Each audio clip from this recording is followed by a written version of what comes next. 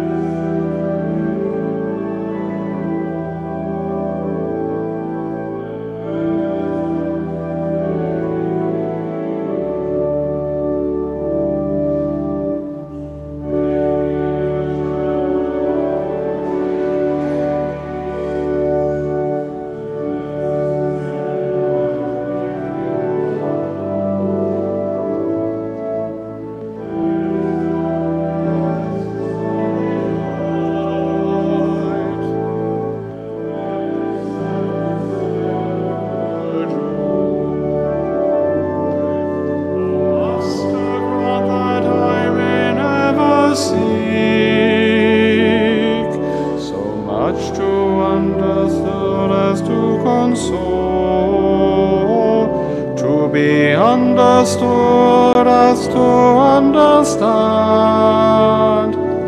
to be loved as to love with all my soul.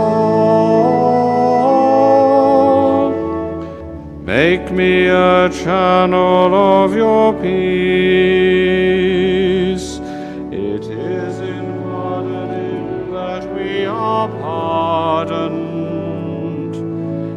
Giving of ourselves that we receive.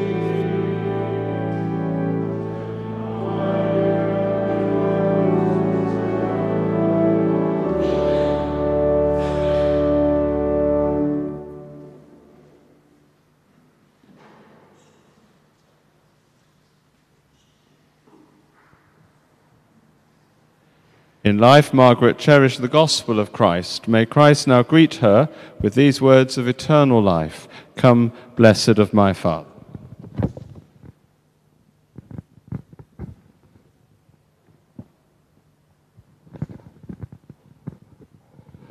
In baptism, Margaret Mary received the sign of the cross. May she now come to share in Christ's victory over sin and death.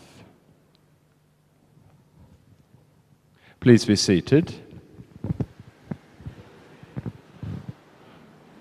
Good afternoon. Welcome, everybody, to Our Lady of Mount Carmel and St. George for the funeral mass for Margaret Walsh. A particular welcome, Martin and Stephen, to you, her sons, to other family here, Robbie, who'll be reading in a moment, other family members and friends, neighbours, and parishioners who gather here to remember Margaret, to pray for the happy repose of her soul, that she may rest in peace. And also, in this Mass, we celebrate, as at any Mass, the resurrection of our Lord Jesus Christ, but even more appropriately in this octave of Easter, as you can see with all the signs of lilies and risen lords and so on. We're very much in this season of Easter. Uh, Easter Wednesday it is, so how appropriate uh, to pray for the eternal repose of Margaret today. And so, Martin, I now hand over to you. Please come to read the eulogy.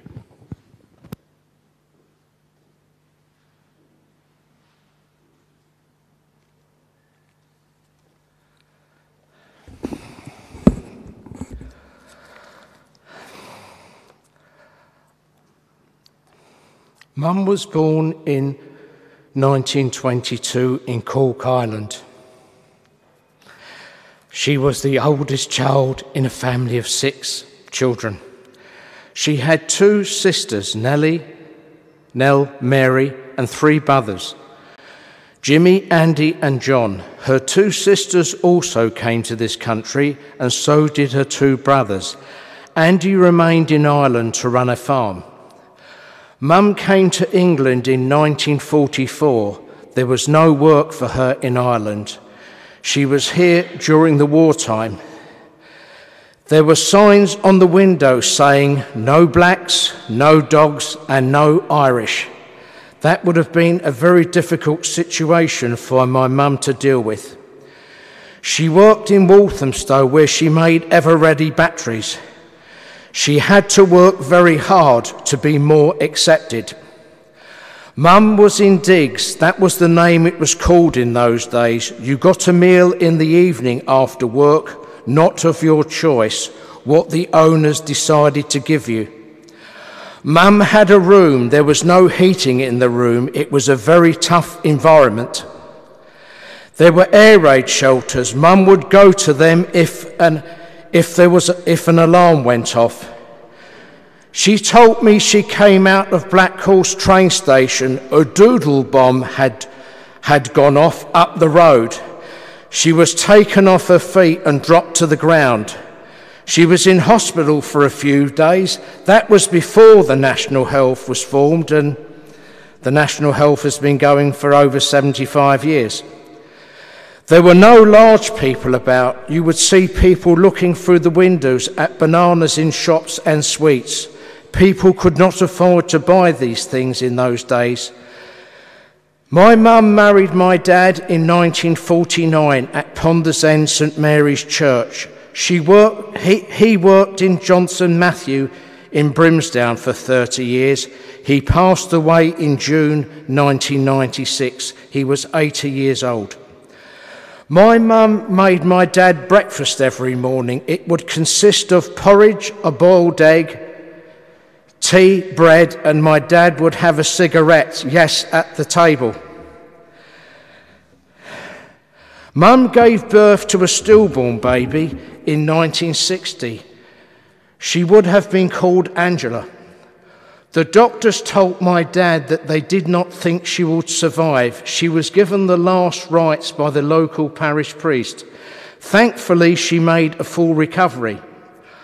I was born in 1961, followed by my brother in 1963. Mum was a housewife. She kept everything clean and tidy. Mum would clean the cooker every Sunday after Sunday lunch, and it looked brand new. She would use a Brillo pad a green scouring pad, and fairy liquid. Mum was not the sort of person to make friends easily.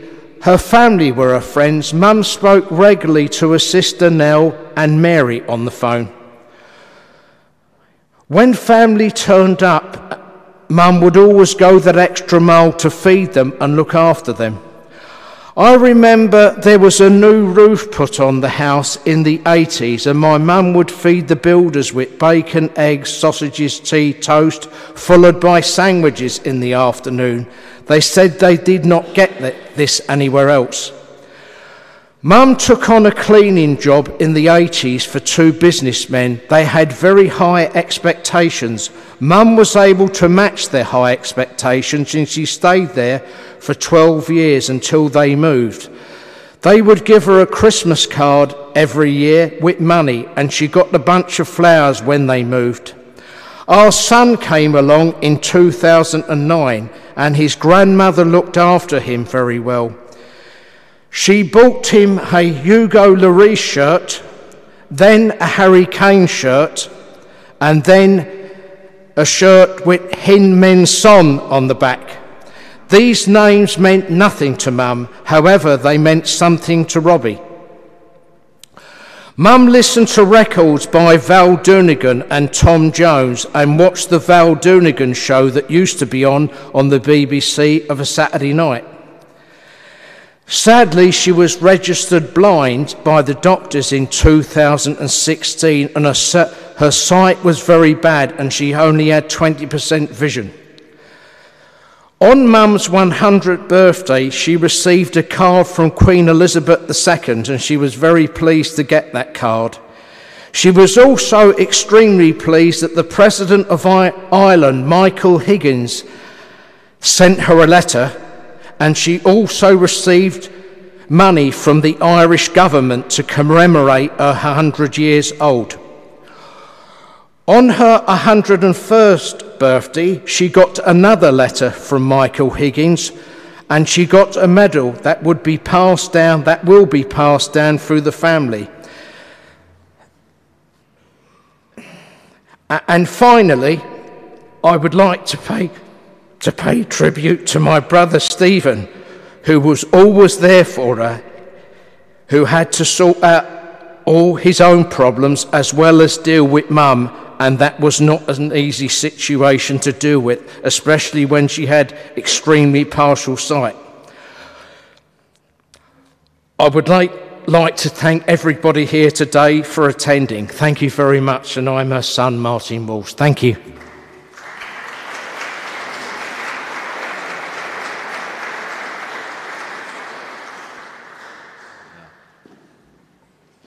Thank you, Martin, for that lovely and very evocative eulogy. Now let's please stand for the opening prayer.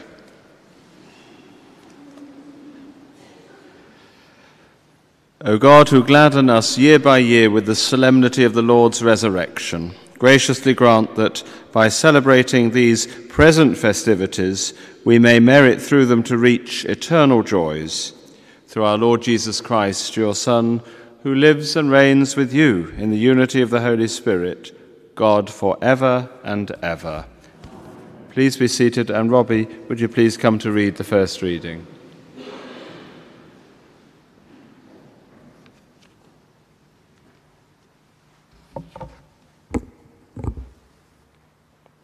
A reading from the Acts of the Apostles. Once, when Peter and John were going up to the temple for the prayers at the ninth hour, it had happened that there was a man being carried past. He was a cripple from birth, and they used him to put him down every day near the temple entrance, which was called the Beautiful Gate, so that he could beg from the people going in. When this man saw Peter and John on their way into the temple, he begged from them. Both Peter and John looked straight at the man and said, Look at us. He turned to them expectantly hoping to, hoping to get something from them. But Peter said, I have neither silver nor either gold, but I will give you what I have. In the name of Jesus Christ the Nazarene, walk. Peter then took him by the hand and helped him to stand up. Instantly, his feet and ankles became firm. He jumped up, stood up, and began to walk. And he went with them into the temple, walking and jumping and praising God. Everyone could see him walking and jumping, praising God, and they recognized him as the man who used to sit begging at the beautiful gate of the temple. They were all astonished and unable to explain what had happened to him. This is the word of the Lord. Thanks be to God. Let the hearts that seek the Lord rejoice. Let the hearts that seek the Lord rejoice. Give thanks to the Lord, tell his name, make his known his deeds among the peoples. O sing to him, sing his praise, tell all his wonderful works. Let the hearts that seek the Lord rejoice. Be proud of his holy name. Let the hearts that seek the Lord rejoice. Consider the Lord and his strength. Constantly seek his face. Let the hearts that seek the Lord rejoice.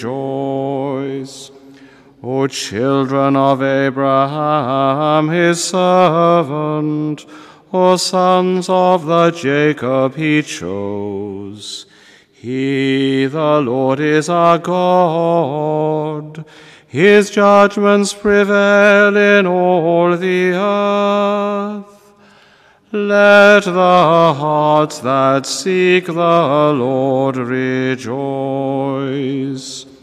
He remembers his covenant forever, his promise for a thousand generations. the covenant he made with Abraham, the oath he swore to Isaac. Let the hearts that seek the Lord rejoice. Please stand. Alleluia, Alleluia, Alleluia.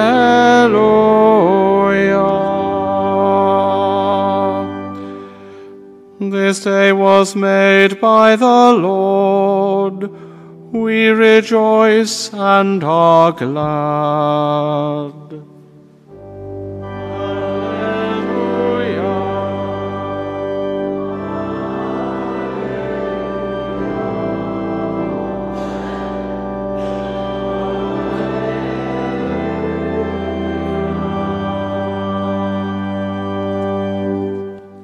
The Lord be with you.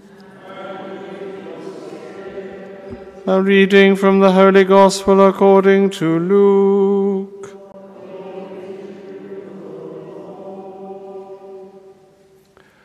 Two of the disciples of Jesus were on their way to a village called Emmaus, seven miles from Jerusalem, and they were talking together about all that had happened. Now, as they talked this over, Jesus himself came up and walked by their side. But something prevented them from recognizing him. He said to them, What matters are you discussing as you walk along? They stopped short, their faces downcast. Then one of them, called Cleopas, answered him, You must be the only person staying in Jerusalem who does not know the things that have been happening there these last few days. What things? he asked. All about Jesus of Nazareth, they answered, who proved he was a great prophet by the things he said and did in the sight of God and of the whole people, and how our chief priests and our leaders handed him over to be sentenced to death and had him crucified. Our own hope had been that he would be the one to set Israel free. And this is not all. Two whole days have gone by since it all happened and some women from our group have astounded us. They went to the tomb in the early morning, and when they did not find the body, they came back to tell us that they had seen a vision of angels who declared he was alive. Some of our friends went to the tomb and found everything exactly as the women had reported, but of him they saw nothing. Then he said to them, You foolish men so slow to believe the full message of the prophets? Was it not ordained that the Christ should suffer and so enter into his glory? Then, starting with Moses and going through all the prophets, he explained to them the passages throughout the scriptures that were about himself. When they drew near to the village to which they were going, he made as if to go on, but they pressed him to stay with them. It is nearly evening, they said, and the day is almost over. So he went in to stay with them. Now, while he was with them at table, he took the bread and said the blessing. Then he broke it and handed it to them. And their eyes were opened, and they recognized him. But he had vanished from their sight. Then they said to each other, Did not our hearts burn within us as he talked to us on the road? and explained the scriptures to us. They set out that instant and returned to Jerusalem. There they found the eleven assembled together with their companions, who said to them, Yes, it is true. The Lord has risen and has appeared to Simon. Then they told their story of what had happened on the road and how they had recognized him at the breaking of bread. The Gospel of the Lord.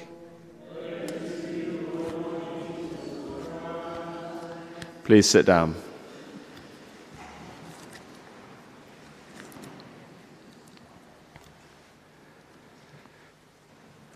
There's a famous painting. I don't talk about art very much. I have others do more than I do because they know much more, as parishioners know. But there's a famous painting of the supper at Emmaus, and it's in the National Gallery eh, there in Trafalgar Square, and the food is plenteous. But I think when we think of Margaret, we'll be thinking of bacon and eggs and everything for the supper anyway. Thinking about those roofers, I was much liking that. But yes, we do pray that uh, Margaret enjoys the heavenly banquet, whatever it consists of, of which, of course, we have a foretaste here in the Holy Sacrifice of the Mass.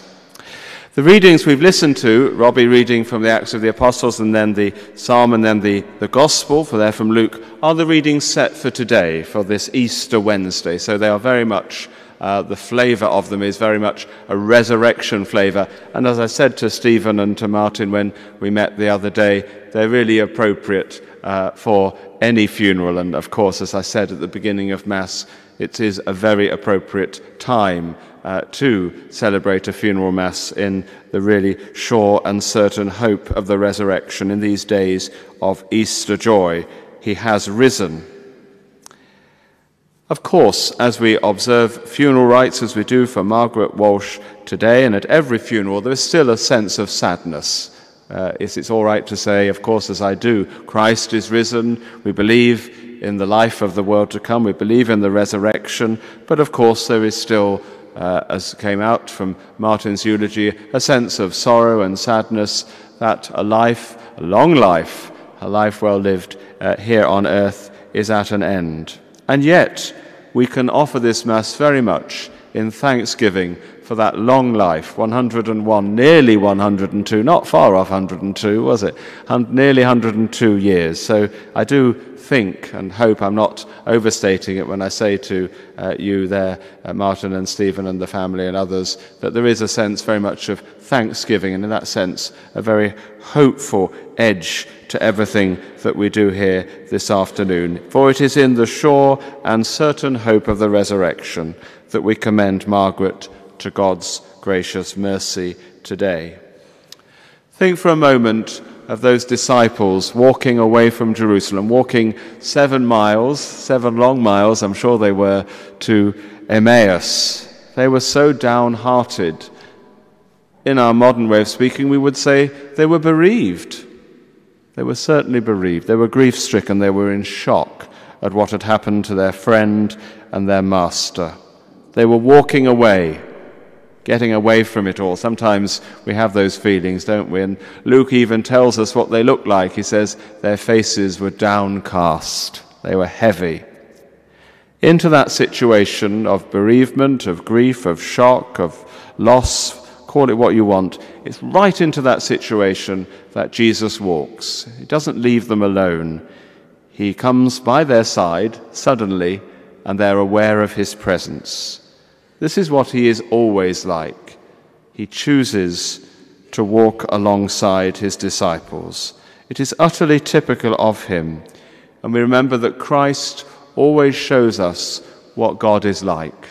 That's what he came to do. He came to show us, to reveal to us God's love, God's mercy, God's presence, God's salvation.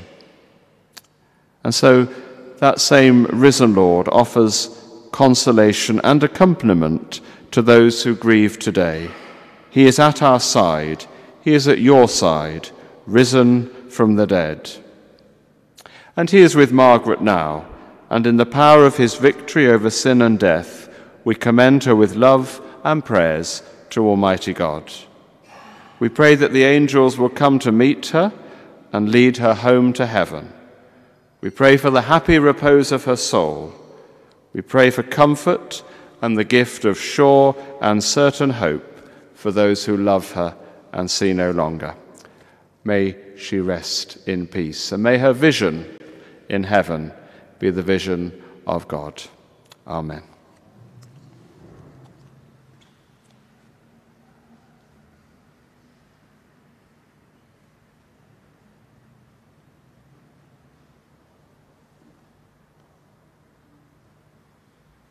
Please stand. Brothers and sisters, Jesus Christ is risen from the dead and sits at the right hand of the Father, where he intercedes for his church. Confident that God hears the voices of those who trust in the Lord Jesus, we join our prayers to his. For Margaret, who in baptism was given the pledge of eternal life, that she may now be admitted to the company of the saints. Lord, in your mercy, hear our prayer. For Margaret, who received the body and blood of Christ, that with the redeemed she may come to share in the heavenly banquet. Lord, in your mercy, for all our deceased relatives and friends, we remember also today James Walsh, that along with Margaret they may be rewarded for their goodness. Lord, in your mercy. For all the family of Margaret, we pray for Stephen and Martin, for Robbie, and all family gathered here. Pray for those who cared for Margaret in her last years, that they may be comforted and consoled in their grief by the Lord. Lord, in your mercy. Pray for all of us who have assembled here for Mass today, that we may be gathered together again in God's kingdom of light, joy, and peace. Lord, in your mercy. Let us now ask for the intercession of our Blessed Mother, Mary, as we say, Hail Mary, full of grace, the Lord is with thee. Blessed art thou among women, and blessed is the fruit of thy womb, Jesus. Holy Mary, Mother of God, Pray for us sinners, now and at the hour of our death. Amen. God, our shelter and strength, you listen in love to the cry of your people. Hear these prayers we offer for Margaret and receive her into your kingdom of light and love. We ask this through Christ our Lord. Please be seated as we sing together uh, the offertory hymn, All That I Am.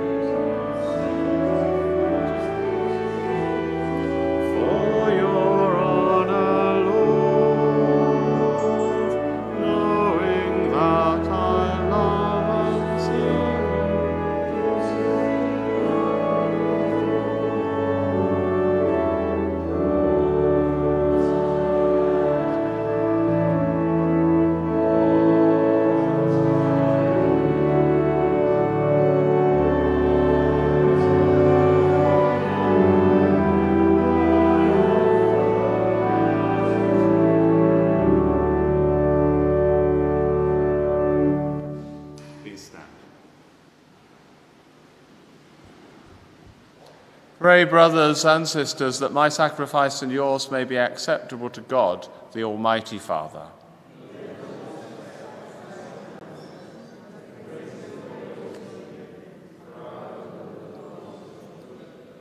Receive, we pray, O Lord, the sacrifice which has redeemed the human race, and be pleased to accomplish in us salvation of mind and body through Christ our Lord. The Lord be with you. Lift up your hearts. Let us give thanks to the Lord our God.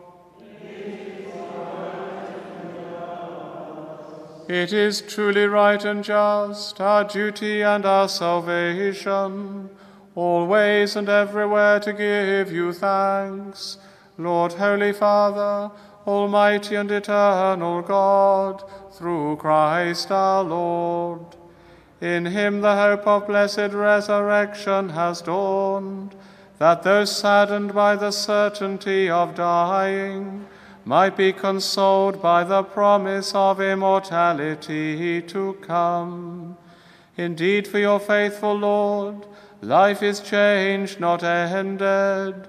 And when this earthly dwelling turns to dust, an eternal dwelling is made ready for them in heaven. And so with angels and archangels, with thrones and dominions, and with all the hosts and powers of heaven, we sing the hymn of your glory, as without end we acclaim. Holy, holy, holy Lord God of hosts, heaven and earth are full of your glory. Hosanna in the highest. Blessed is he who comes in the name of the Lord. Hosanna in the highest. Please sit or kneel.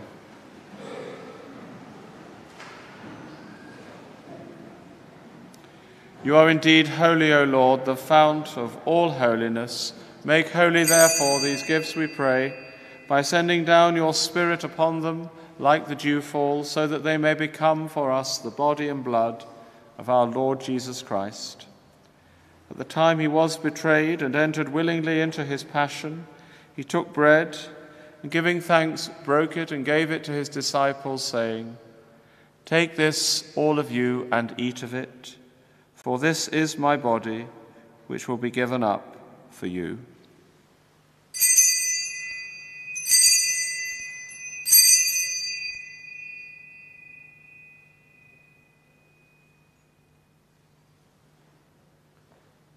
In a similar way, when supper was ended, he took the chalice and, once more giving thanks, he gave it to his disciples, saying, Take this, all of you, and drink from it.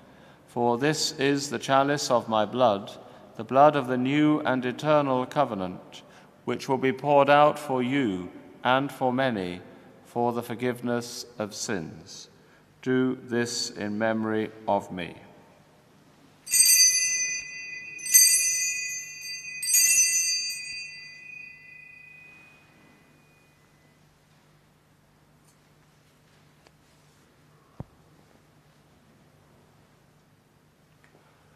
The mystery of faith.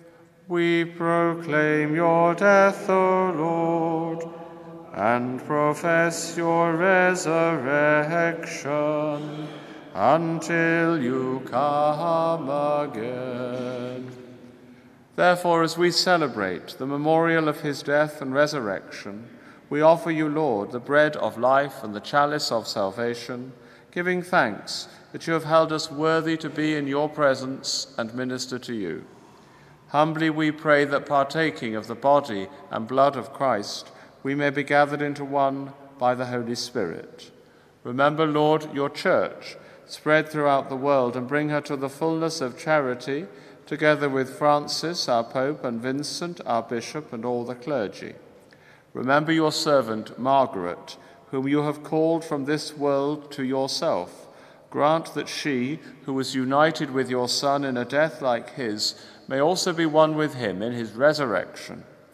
Remember also our brothers and sisters who have fallen asleep in the hope of the resurrection, and all who have died in your mercy. Welcome them into the light of your face. Have mercy on us all, we pray, that with the Blessed Virgin Mary, Mother of God, with blessed Joseph, her spouse, with the blessed apostles, and all the saints who have pleased you throughout the ages, we may merit to be co heirs to eternal life, and may praise and glorify you through your Son, Jesus Christ. Through him and with him and in him, O God, Almighty Father, in the unity of the Holy Spirit, all glory and honor is yours forever and ever. Amen. Please stand. At the Saviour's command and formed by divine teaching, we dare to say, Our Father, who art in heaven, hallowed be thy name. Thy kingdom come, thy will be done on earth as it is in heaven. Give us this day our daily bread, and forgive us our trespasses, as we forgive those who trespass against us. And lead us not into temptation, but deliver us from evil. Deliver us, Lord, we pray, from every evil. Graciously grant peace in our days, that by the help of your mercy we may be always free from sin and safe from all distress, as we await the blessed hope and the coming of our Saviour, Jesus Christ. Lord Jesus Christ, who said to your apostles, Peace I leave you, my peace I give you, look not on our sins, but on the faith of your church, and graciously grant her peace and unity in accordance with your will, who live and reign for ever and ever. The peace of the Lord be with you always. Let us offer each other the sign of peace.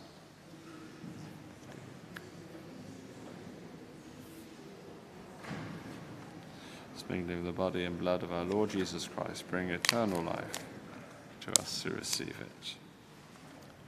Lamb of God, you take away the sins of the world. Have mercy on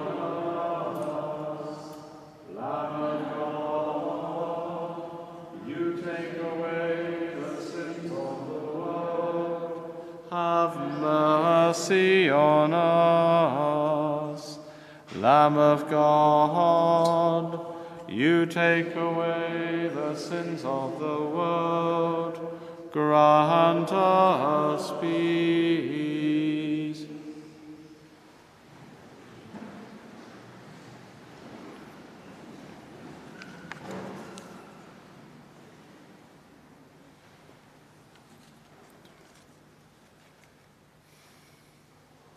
Behold the Lamb of God, behold him who takes away the sins of the world. Blessed are those called to the supper of the Lamb. Lord, I am not worthy that you should enter under my roof, but only say the word, and my soul shall be healed.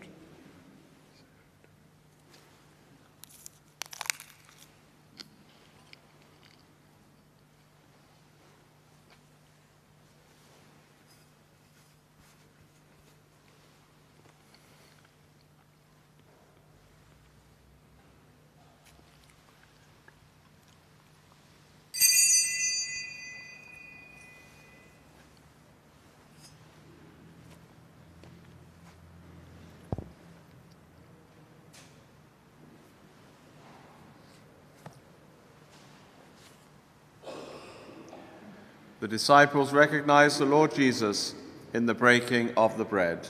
Alleluia. It's now the time of Holy Communion, so just the, with the usual instructions for Holy Communion, if you're not a Roman Catholic or otherwise unable to receive Holy Communion, you're welcome to come forward for a blessing, and crossing your arms across your chest will indicate that you wish to receive a blessing. Thank you.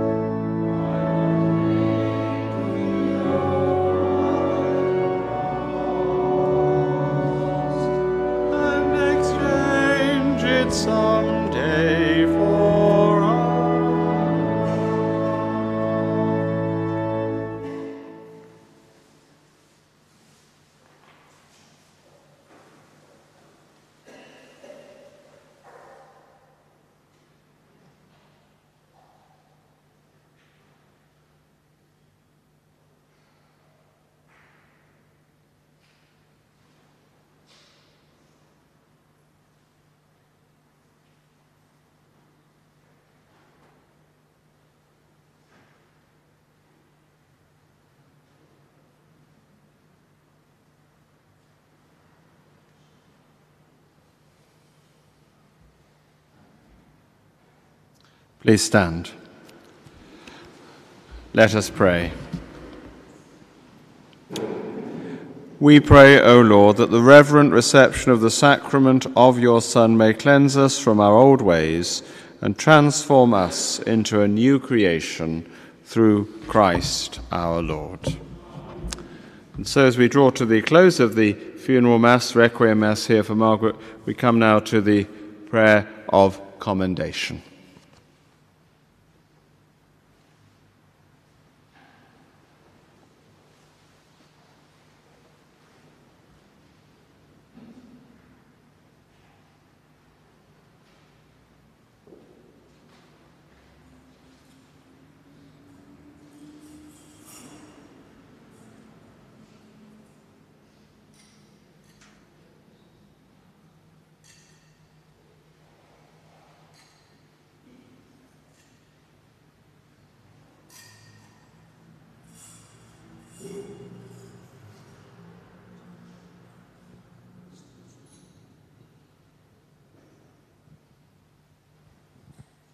Before we go our separate ways, let us take leave of our sister Margaret. May our farewell express our affection for her. May it ease our sadness and strengthen our hope. One day we shall joyfully greet her again when the love of Christ, which conquers all things, destroys even death itself.